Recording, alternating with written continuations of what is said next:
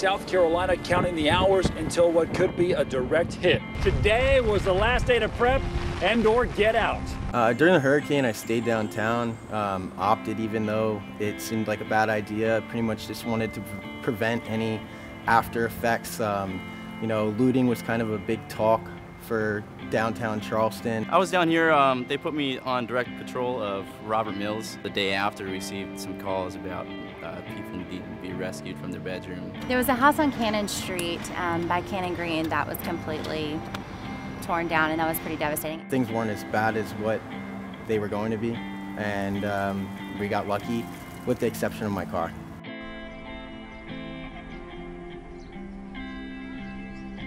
When it hit the car, I mean, it sounded like glass exploding everywhere.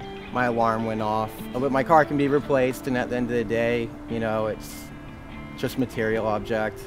You know, a life means a lot more than a Roush Mustang. I got uh, citizens just down the road actually giving me water to help distribute out to, to citizens in need. So, you know, everybody's, everybody's got each other's back around here.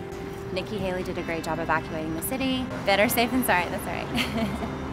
I know I had a lot of people reaching out to me to see how I was doing and um, did that with others as well. So that's always encouraging to, to know that you're being supported and um, you know, to know that the state has your back, the government has your back, and so do your friends and family.